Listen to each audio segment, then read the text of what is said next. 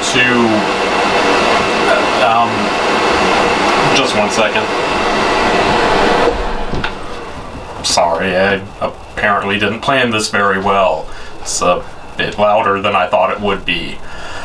Um, anyway, hello and welcome to Crowforest Reviews, and welcome once again to the start of the Halloween season. And what better way to start off this season than with The Conjuring? Yeah, I can't think of a better intro than that. Roll it.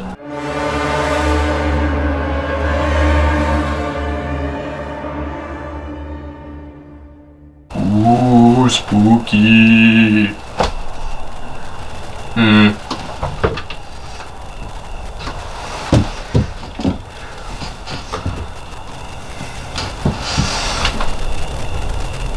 Yeah, that's better. So the opens with a creepy doll. Hmm, seems appropriate. It started out small.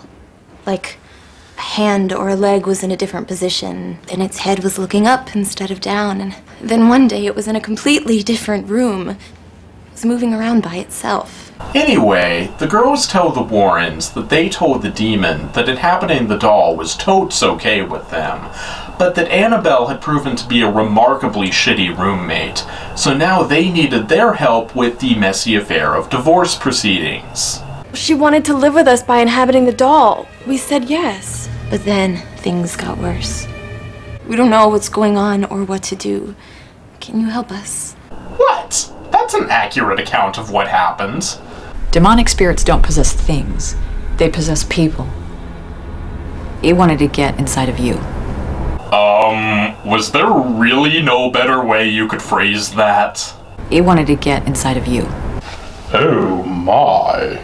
Well, now that that horrifying image has been put into your head, cut over to the next scene, where it turns out that this whole thing has just been a lecture being given to a college, a high school, angry townsfolk, um, people.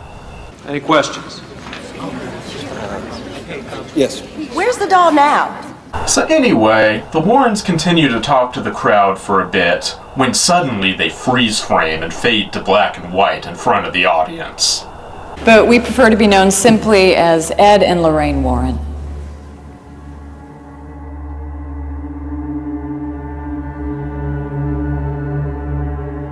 It happens. Four score and seven years ago.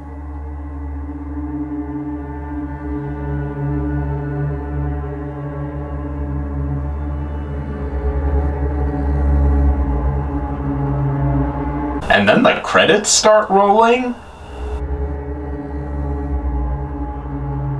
Huh. I guess this is the new Annabelle movie that everyone's been talking about? Hmm. A lot shorter than I thought it would be. And now The Conjuring's starting?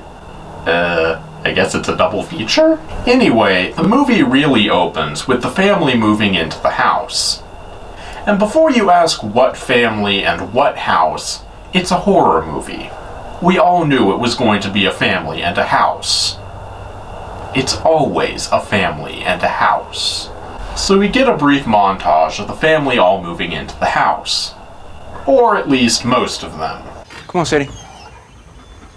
Sadie, let's go. Hey, come. What's the matter with you? Hey, come on, girl. All right, suit yourself. Oh, sorry, that's our fault. We forgot to train her. She's completely worthless. So anyway, the kids go exploring in the yard and...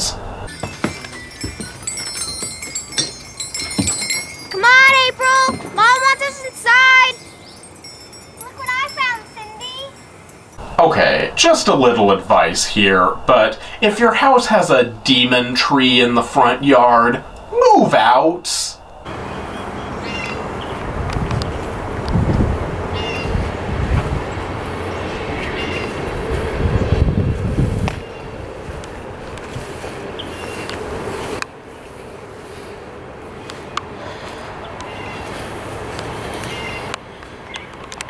Hey, that's the backyard. That doesn't count. Demon trees in the backyard are fine. Anyway, inside, the kids decide to play a game of hide and seek. Two, three. Ready or not, here I come. Sorry, I mean Blind Man's Bluff. Okay, clap. I mean. What the hell are you doing?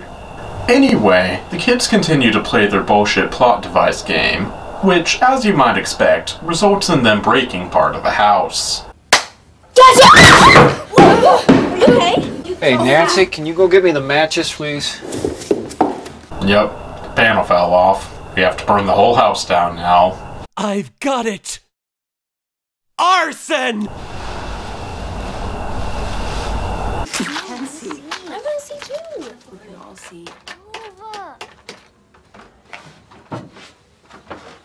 Oh, he meant for lights. What, has this idiot never heard of flashlights? He really is gonna burn the whole house down. So he knocks off the rest of the panels, and then he proceeds to go down a hidden staircase into an old cellar. Got extra square footage anyway. Huh. These people have all the right reactions. Demon tree? Demon basement? Cool! No, no, those aren't cool. Those are both pants shittingly terrifying. Something's up with Sadie. Couldn't get her to come inside. Those damn set hands forgot to train her! And there was this really funky smell in my bedroom last night. Reeked like something died. Is it still there? No. Problem solved. Um, that's not how problems work. Hello, police? I need to file an incident report. There was a stalker outside my window. Is he still there? Um, n- no, he's not there now. Problem solved! So, anyway, the mother goes down the stairs and. Ah! Ghost face! Oh, that's just a reflection. Oh. This is gonna take some serious elbow grease. And again with the underreactions. The proper response is Ah! Demon, demon, ah! This clock stopped at 307 and so did the one in the hallway. That's weird.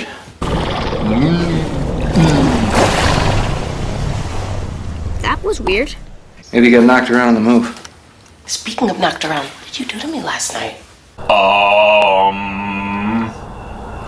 So, anyway, after that, one of the girls goes to find the dog.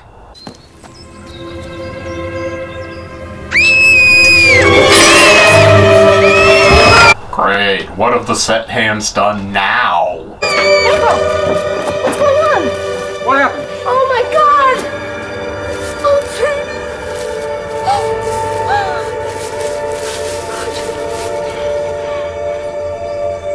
They killed her? Now that is just blatant incompetence. You should really get a refund. Now you're gonna have to rewrite the whole script! So cut back to the Warrens, who are apparently the B plot now. Because there's apparently a B plot now. Ed Warren is showing someone his collection of all things creepy. Everything you see in here is either haunted, cursed, or has been used in some kind of ritualistic practice. Why in the world would they keep any of this stuff? Huh, how'd that get there? Why not just throw them in an incinerator? Thank you! First sensible question of the movie. Finally, we have someone to root for. Destroy Well, that would only destroy the vessel. Sometimes it's better to keep the genie in the bottle. Right, because a demon can only inhabit one object at a time. Except that they can clearly have up to seven Horcruxes, you moron! This doesn't make them any less able to move about freely.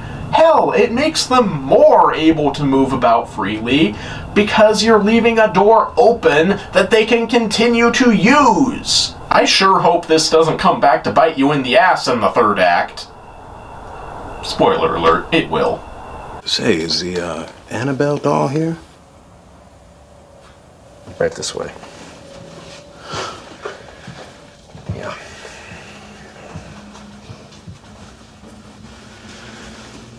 Okay, I do understand why they kept that one.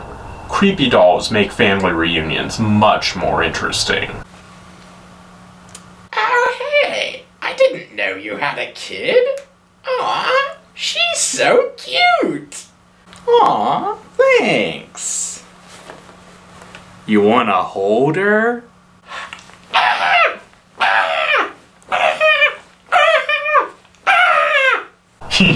I have an evil sense of humor. Anyway, the tour continues until Ed's daughter comes into the room, which he left open for some reason.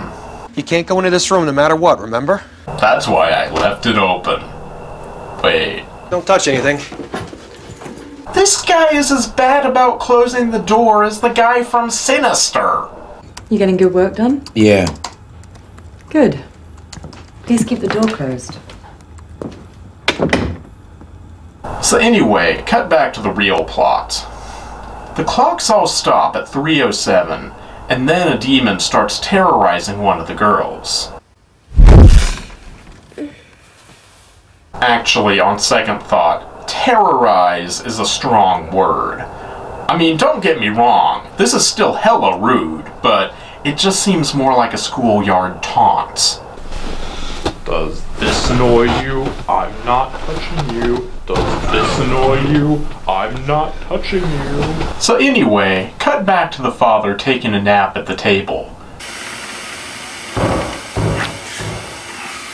But uh-oh, something goes bump in the night, so he goes to investigate.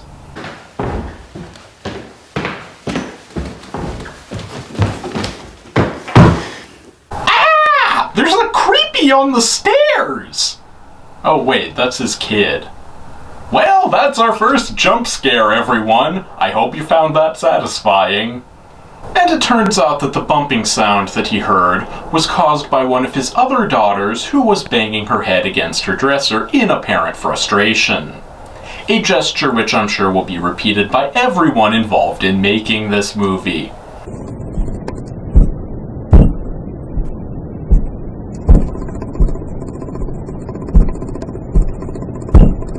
So anyway, the next morning, the father goes out to go to work, when suddenly... Damn it! We were supposed to train that bird, too! We're really bad at our jobs. So anyway, after school, we cut over to one of the girls talking to her new invisible best friend about how the dog was her former best friend. I miss Sadie a lot. She was my best friend. Wow, that's kind of sad. You need to get a life, kid. And coming from me, that's pretty bad. Can we play hide and clap? No, that's not a real game, so no. So the mother, for some reason, decides to indulge her daughter's delusion that this insanity is somehow a real game, and she puts on a blindfold to walk around the new house. Because that's a good idea.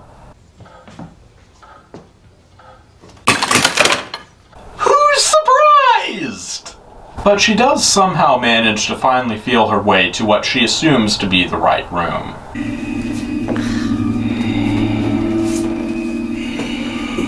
I can hear you breathing. Has your breath always sounded that demonic? So anyway, later that night, the demon is once again back to his old trick of pulling the girl's leg. Okay, now that is just rude. Go stand in the corner! It did! And you can just stay there until you learn how to behave, meanie. I'm a bad devil. So back in the B plot, Ed and Lorraine Warren are going to investigate another case. Do you remember what you said to me on our wedding night?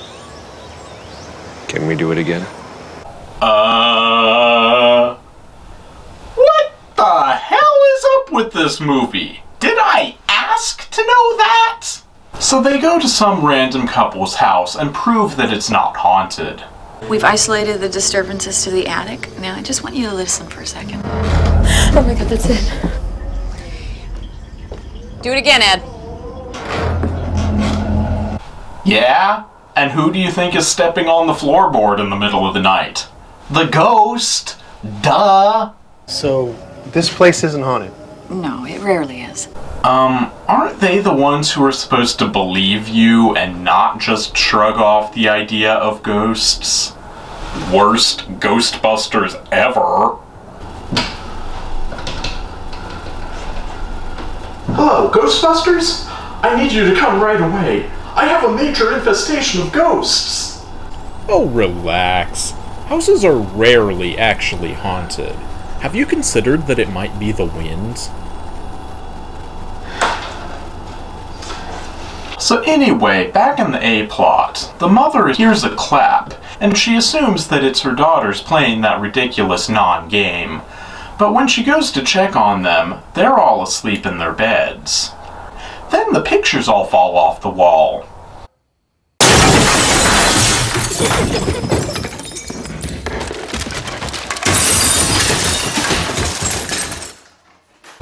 Don't worry. I'm sure it's just the wind.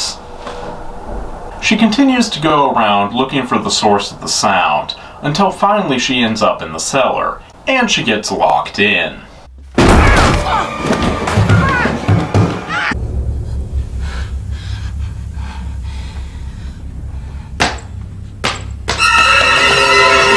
Now see, this is why you should have sprayed for termites.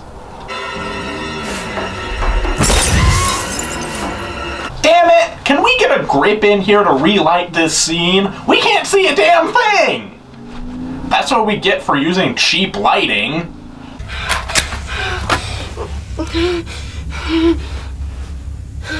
Oh hey, she brought matches! You know what would have been more useful? A flashlight. Wanna play hide and clap?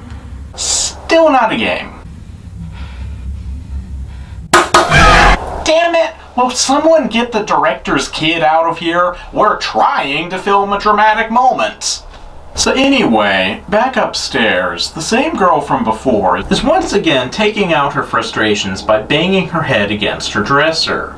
But this time, when her sister removes her, the cabinet continues to slam itself. And wouldn't you know it, there's a creepy on top of it. Whale shit.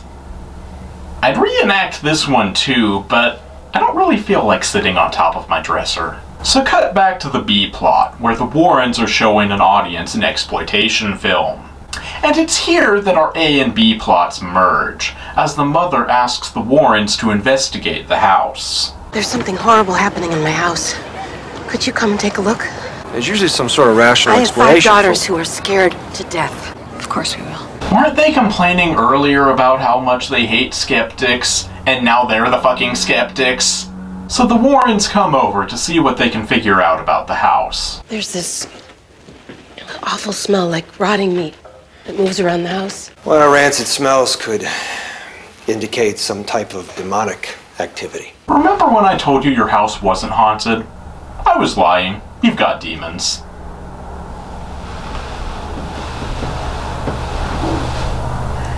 Well, that's quite a leap. You go straight from houses aren't really haunted, it's just the wind, to OMG demons. What? What?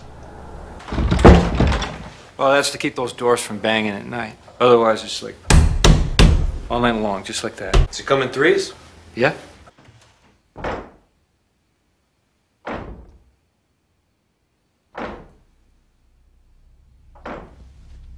Come in threes? Yeah. Sometimes it's meant as an insult to the Trinity. Or it could be a reference to the three sons of Noah, the three wise men, the three winters of Ragnarok, the three children of Loki, the three goddesses, the rule of three, the three act structure, the three branches of government, the three states of matter, the three signs of Aslan, the three rings for the Elven Kings, the three musketeers, the three stooges, the three installments of the Divergent series, or any number of other possibilities. But yeah, I guess that's as good a theory as any. Or here's a thought. Maybe the demon is just obsessive compulsive and tapping out literally the most common pattern ever. Or maybe it's into threesomes. You know, it's the damnedest thing, but we also get all kinds of birds that will just fly against the side of the house and break their necks. Yeah, our animal trainers really suck. We've already lost half of our filming animals. We were hanging those along the stairs. Something just kept knocking them down, so we stopped hanging them up. Sounds reasonable. That's why I gave up cleaning my room. Every time I do it, a demon would just come in and make it messy again. Can't do it. Demons. Something awful happened here, Ed. Yeah, we know. This is where they filmed this movie. But honestly, it's not that bad.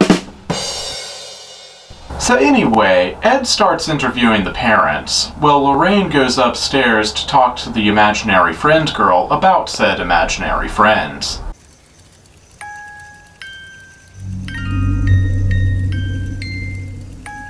Apparently freaks her out a bit, so she goes outside to stand under the demon tree for a while to unwind. This proves to be a bad idea. Duh. Hey.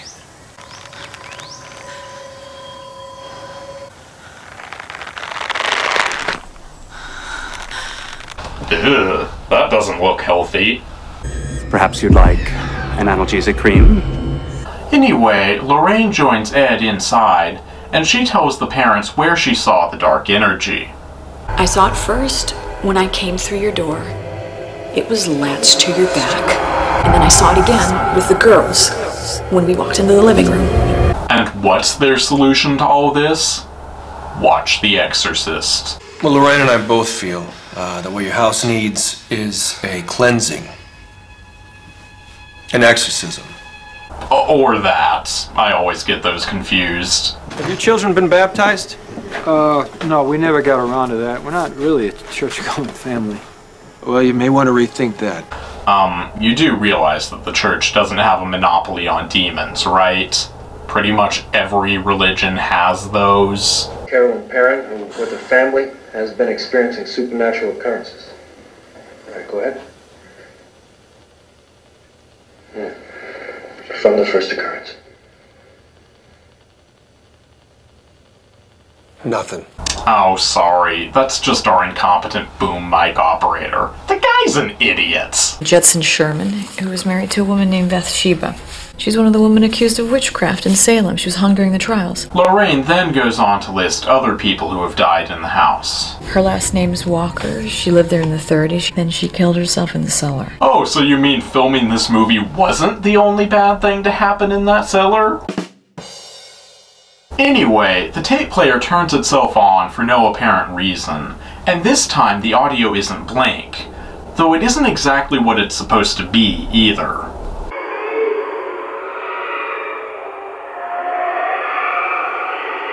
Sorry, our audio guy had a stroke while mixing this and accidentally mixed in a dying walrus.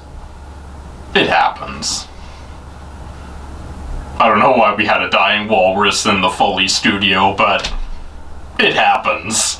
Anyway, the sheriff arrives and they start unloading equipment for the night. All right, guys, let me get this stuff unloaded. Take this. Um, is someone gonna get that? Hi, Roger.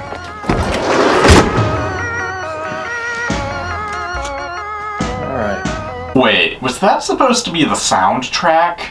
Huh. Maybe the house really is haunted. I think the soundtrack just died.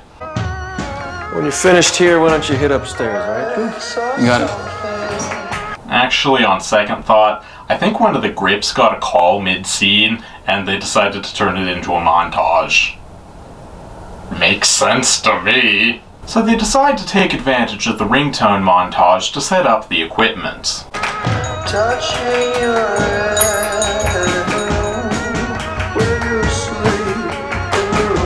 So they finish setting up the equipment, but just as they're doing so, a door creaks open for no apparent reason.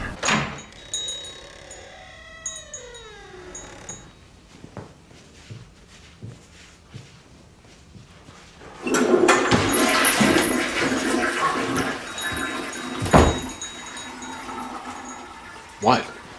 I had to go. Well, that is how I always come out of the bathroom.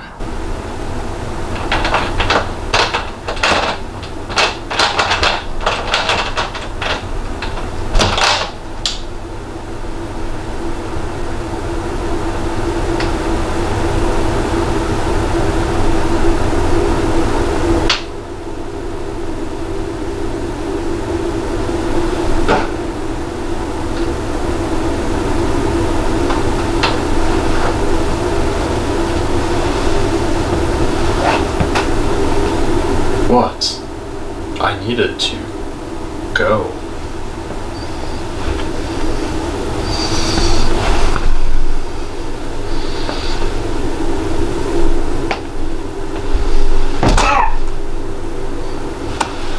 Presence of religious icons will get a reaction from anything unholy. Sort of pisses him off. It's not really the icons so much as the fact that you're shoving them up their ass. That pisses him off. Like holding a cross to a vampire? Yeah, exactly. Except I don't believe in vampires. Oh, please. I only believe in my supernatural stuff. Your supernatural stuff is just silly. So the door to the cellar opens on its own, so the team goes down there to investigate. Let's keep the cellar light off. Yes, let's. That sounds much more sensible than not doing that. And then Ed proceeds to goad the demon into making an appearance. Hey, close the door, move something. Come on. Hey, wait a minute, didn't he say to never ever do that? Anyway, blatant hypocrisy aside, the night passes in relative peace, and the next morning, Lorraine does a load of laundry, because that should be a priority when you're battling a demon house. I could get used to this. Nice place. Nice fresh country air. Um, isn't there a rule about thou shalt not covet thy neighbor's haunted house? Actually, maybe not. That kind of goes without saying. But before you have time to wonder why there's so much sun in a horror movie, the sun is instantly swallowed up by the fastest storm ever.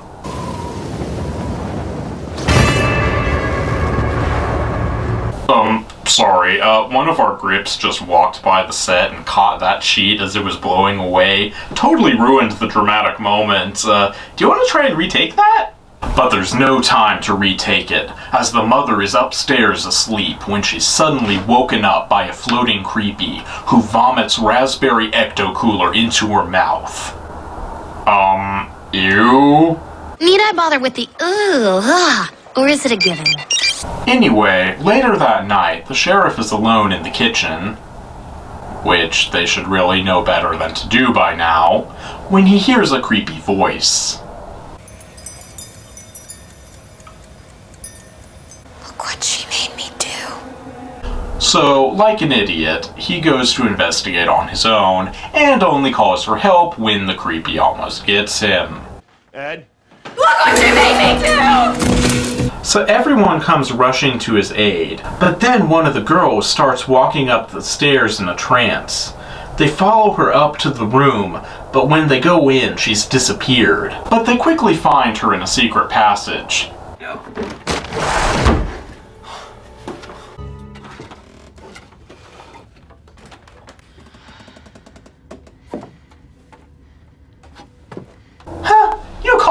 a secret tunnel? I've got your secret tunnel.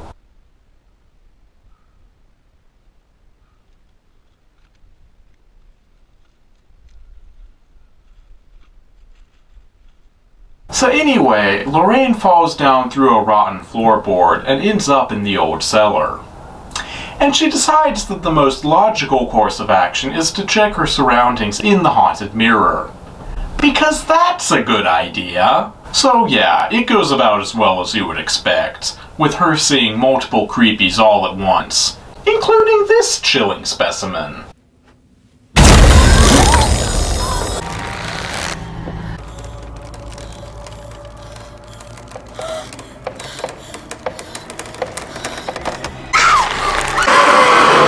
Hmm, now why am I getting flashbacks of last Tuesday? Oh.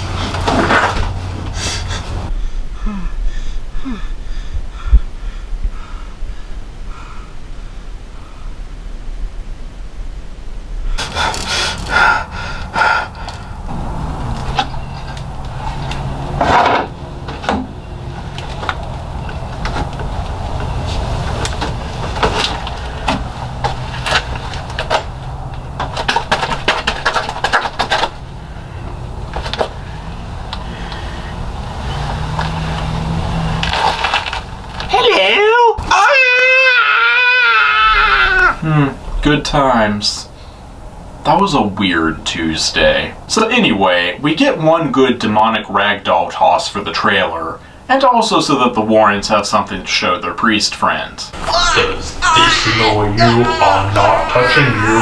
Does this annoy you? I'm not touching you. So the family all go to stay in a hotel, which apparently they could have done this whole time. So the next morning, they go to show the footage. The kids aren't baptized. I understand. And the family, they're not members of the church. Well, that's cold. You won't help them just because their beliefs differ from yours? That's just rude. How would you like it if Meals on Wheels only served reformed druids? That would suck, wouldn't it? So anyway, cut back to the B plot.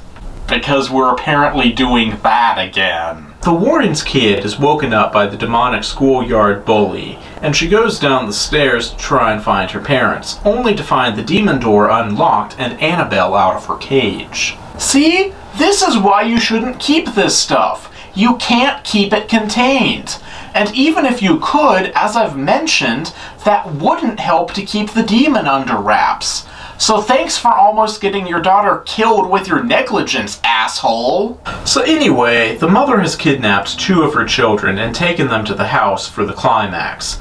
So the Warrens follow her there. So we proceed to get a dramatic climax, with lots of kicking and screaming and demonic ragdoll tossing. Also a floating chair. For reasons. But we do interrupt the climax briefly for this impromptu remake of The Birds, because we'd only killed half of our bird allowance, and by God, we're going to kill the rest of them. Understand this? We are now fighting for her soul! Why? Why would her soul be in any danger from this? She didn't ask for the demon to vomit raspberry ecto cooler into her mouth, so why would any of this count against her? Or are you implying that she did somehow ask for it to vomit raspberry ecto cooler into her mouth and possess her? Yeah, that's what I said. Speaking of which, do you have to give a demon a direct invitation? Or are they able to get in on some kind of a technicality? I mean, demons must be pretty good at finding loopholes. Who is it? Neighborhood Association. Bake you a pie to welcome you to the neighborhood. Oh, thank you. Do come in.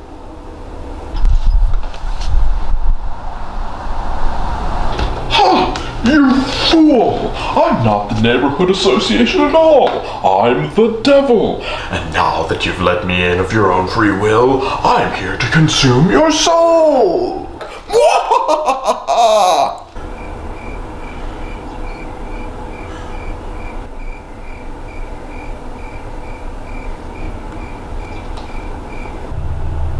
I still have the pie?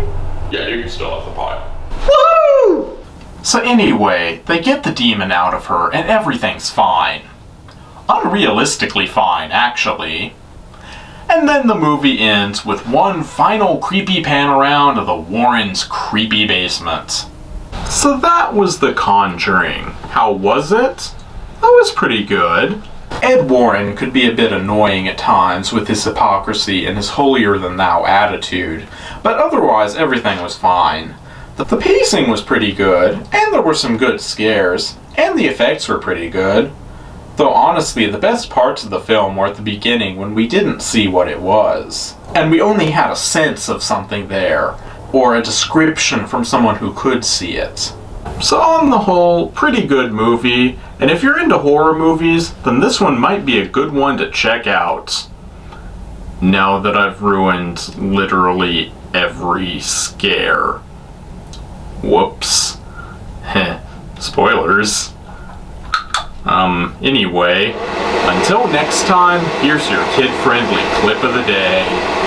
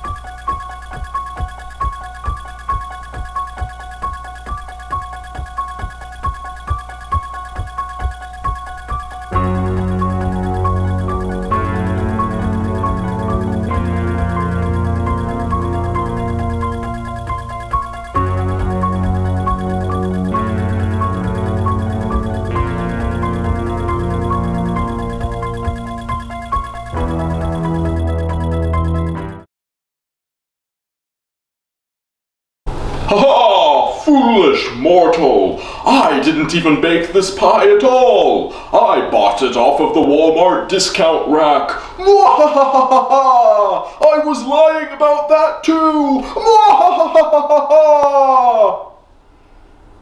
Yeah, you can stall the pie.